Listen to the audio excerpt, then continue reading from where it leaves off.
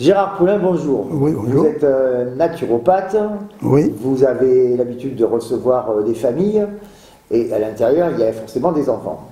Donc, est-ce que vous pouvez nous donner là, aujourd'hui, des conseils pour le petit déjeuner du matin? Alors, pour le petit déjeuner du matin, évidemment, surtout pas de sucre, contrairement à ce que font beaucoup de parents. Le sucre du matin, c'est un poison pour l'enfant, pour la bonne raison que euh, deux heures après, il- ça entraîne physiologiquement une hypoglycémie réactionnelle. Donc l'enfant, au milieu de la matinée, il ne peut plus suivre de cours. Il Alors, ça veut dire concrètement que les céréales du matin, euh, le jus d'orange, etc. Tout ça, c'est à bannir. Pas de sucre, pas de confiture, pas de jus de fruits, pas de fruits le matin. Euh, ce qu'il faut surtout, ce sont, s'il faut manger gras et des protéines. Parce que l'enfant construit son corps et il lui faut des protéines pratiquement à tous les repas.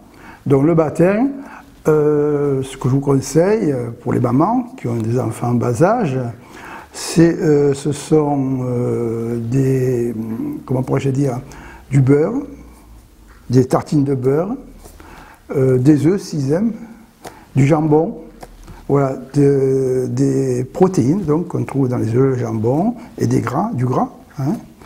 Tout simplement parce que le gras ne va pas entraîner cette hypoglycémie réactionnelle et dont l'enfant pourra aller jusqu'à la fin de la matinée sans problème d'attention au niveau des cours. Compte tenu de la durée d'une journée de travail pour les enfants, est-ce qu'il y a d'autres moments dans la journée où vous conseillez des apports nutritifs Et lesquels?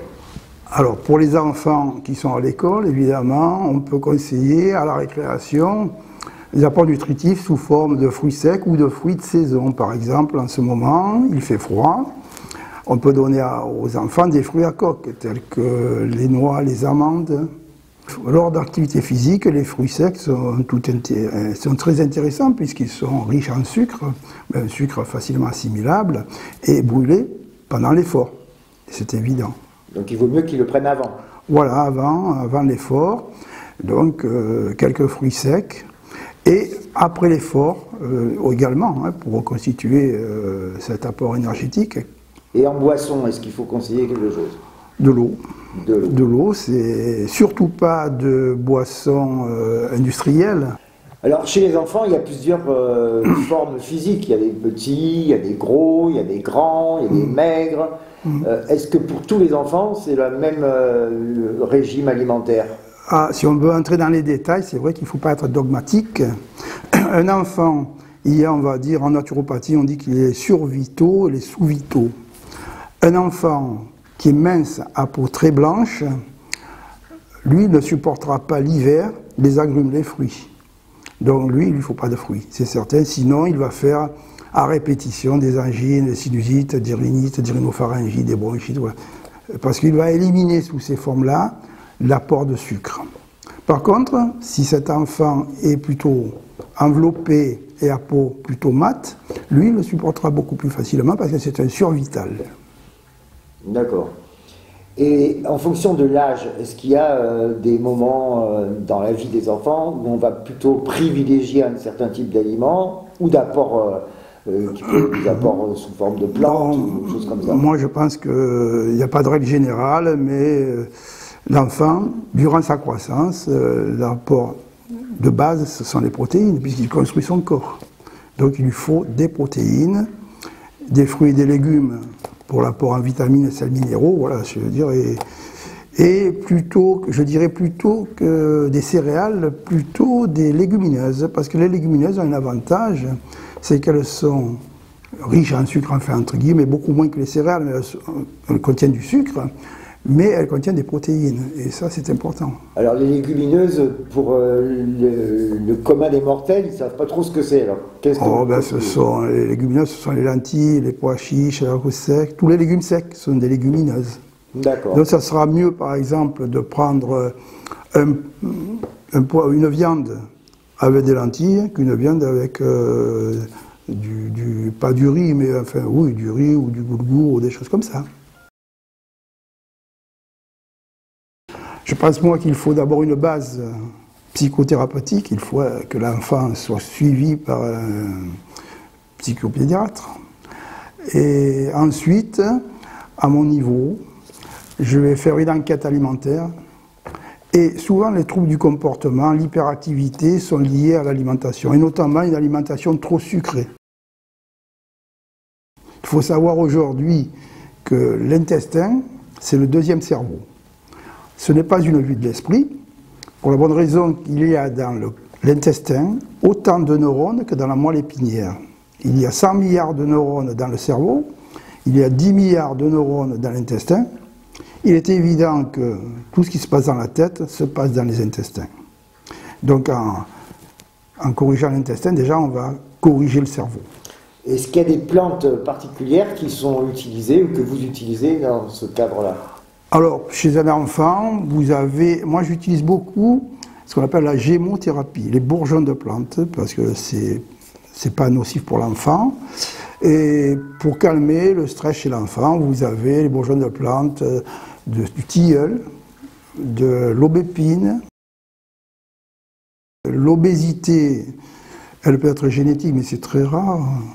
C'est plutôt de l'épigénétique, mais euh, c'est un problème comportemental. Hein, euh, voir l'enfant, voir son environnement familial, comment il se comporte à l'école. Euh, l'alimentation, c'est souvent un refuge chez l'enfant qui est mal dans sa peau et qui va reporter sur l'alimentation des troubles émotionnels. Donc euh, l'interrogatoire, les enquêtes alimentaires, sociologiques sont très importants. Un régime ne marchera jamais. Donc si je vous suis bien, il peut y avoir une coopération entre le naturopathe que vous êtes et le psychanalyste que je suis euh, ah, dans le cadre de cette... Euh, c'est tout à fait complémentaire. Hein. Je pense que l'un sans l'autre, ça ne peut que... ça ne marchera pas. Ou ça ne marchera de façon épisodique. Euh, l'enfant, s'il n'a pas un accompagnement psychologique par un thérapeute, ne pourra pas suivre longtemps une alimentation qui lui pose problème au départ, hein, parce que l'enfant obèse, lui, ce qu'il veut, c'est manger. Hein, pourquoi? Parce que la base du problème est psychologique, l'alimentation étant pour lui une protection. Euh, j'ai oublié de dire quand même que quand on est stressé, on pisse le magnésium. Ça veut dire que tout état de stress doit être complémentaire en magnésium. Euh, je veux dire, il faut du magnésium. Aucun traitement ne peut marcher si vous ne refaites pas votre charge en magnésium. D'accord, donc du magnésium. Du magnésium, c'est la base de tout. Hein parce qu'on le pisse, malheureusement, c'est comme ça, c'est le stress qui fait ça. Donc, euh, à partir de là, vous avez des plantes sédatives. Bon, vous avez la passiflore, vous avez la valériane. Parce qu'après, chaque individu va, euh, va traduire son état de stress par des problèmes euh, physiologiques. Par exemple, certains, en, cas de stress, ils sont bloqués. Ils se bloquent les articulations, un torticolis, ou un blocage d'une épaule, ou d'une hanche, ou d'un genou. Alors là, il faudra des plantes plutôt à visée décontracturante, parce que c'est musculaire. Donc là, on va plutôt conseiller la valériane, qui est une plante relaxante et décontracturante.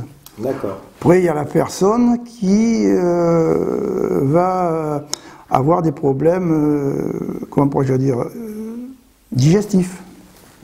Là, on va conseiller plutôt le figuier.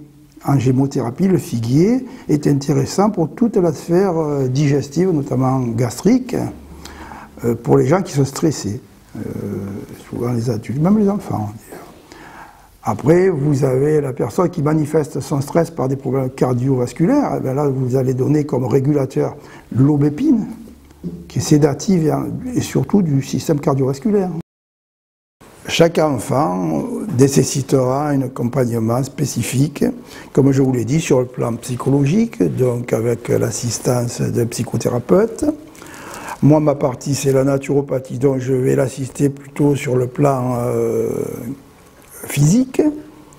Mais encore une fois, moi, j'ai donné là des conseils généraux, et donc je vous invite à consulter un naturopathe ou un psychothérapeute pour avoir de plus amples informations et euh, un traitement beaucoup plus ciblé sur l'enfant. La raison est simple, c'est qu'il y a une science qui s'appelle la psychosomatique, et nous, nous sommes dans ce créneau. C'est-à-dire que la personne qui vient me voir, au départ, a un problème physique, mais l'interrogatoire révèle souvent que le psychisme est impliqué, fortement impliqué dans les pathologies. Mais donc c'est pour ça que l'aide d'un psychothérapeute dans ma profession est indispensable. C'est pour cela que je vous accueille chez moi.